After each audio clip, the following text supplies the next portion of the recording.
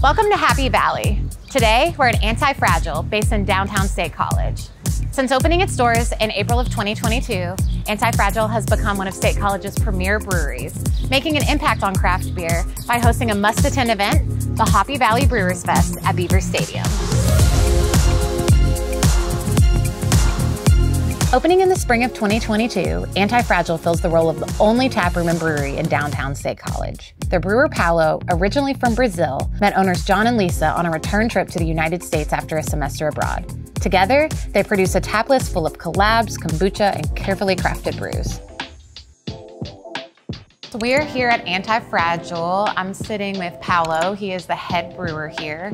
Can you tell me how you got started in brewing? It was an internship in college. Around my third year, I had this opportunity to start as an intern at a local uh, microbrewery in my hometown, back in Brazil, where I'm from. 2010, I, I, I, came over to do my senior year in high school in central Pennsylvania. I was hosted by this family. Every chance that I had to come back, I would be flying over and spend some time with them. In 2019, uh, in one of these visits, I met John and I met Lisa. And John, being a big beer and beverage enthusiast, he had this desire to, to start a brewery. So that's when we kick-started this project. And then uh, the pandemic hit in early 2020. So we were stranded with this project for roughly two and a half years until it came to fruition. A big, robust operation turned into just a small shop downtown State College. What does anti-fragile mean? The whole concept circles around things that strive in challenging and, and, difficult environments. The Hydra itself is this one creature that one head is immortal. When you cut one, two more heads grow. Oh, so that wow. kind of defines and, and gives it a visual representation for an abstract concept. So we came up here for the Hoppy Valley Brewers Fest. So many different people in town from breweries all across Pennsylvania and also other parts of the country. What inspired that and why was it so important to you all? It was surely a big endeavor, Hannah, but that would have definitely not been done without the help of other local organizations too, and obviously so many other people that did a lot of the hard work to make this happen. Having a brewery being behind a festival this big too, it kind of adds a little more security to other breweries to show up to. For sure. You know, for as long as we're involved in this, we're gonna make sure this is a festival made by and to brewers. Cheers. Beaver Stadium, Penn State's famed Coliseum, is brewing with happiness today. Over 75 breweries from around the country have come to Happy Valley to pour their best beers for one day. We'll speak with some of them repping Pennsylvania. Welcome to the first Hoppy Valley Brewers Fest.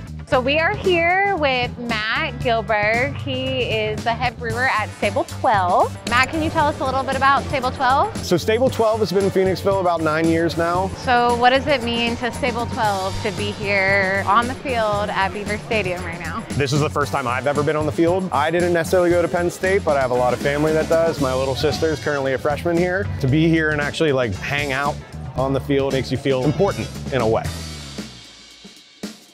So now we have Eric and Brianna from Fourscore. Can you tell us a little bit about Fourscore? Yeah, Fourscore is a, a, brewery in Gettysburg. We've got a little bit of everything for everybody. So any walk of life, we got a beer for you. Why is being on this field so special to you all? We met at Penn State when we went here 13 years ago. Being a student here and always loving Penn State and being a graduate, it just means the world to us to be able to be on this field. Something super special happened very recently yes. with you two. Can you explain that to our viewers? Well, like I said, we met met here, and I thought the coolest thing ever was to be on the 50 yard line. Last night, once everything was set up and there was only like seven people in the stadium, I got a chance to propose to her after five years. Congratulations! Thank you. Thank you. She said yes. The easiest yes in my life. Well, congratulations. Thank you. Thank you. so happy for you. I'm so happy to drink your beer. It's Thanks. fantastic. So right now we're with Charles and Don.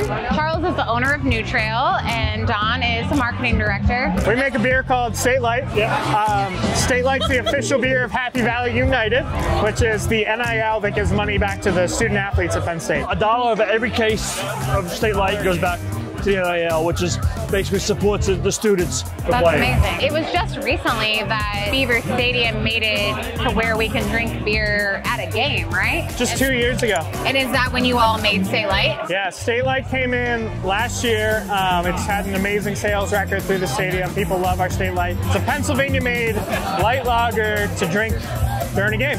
Thanks, guys. Your beer is fantastic. Cheers. Cheers. Thanks for watching this episode of Cheers PA Beer Tours. Make sure to follow us online and socials and let us know where you want us to go next. Cheers, PA. So John was really excited. He was a, this huge beer enthusiast. He was chasing beer. Uh, oh, oh, Sorry about that. That's the end of my boil. Give me one minute.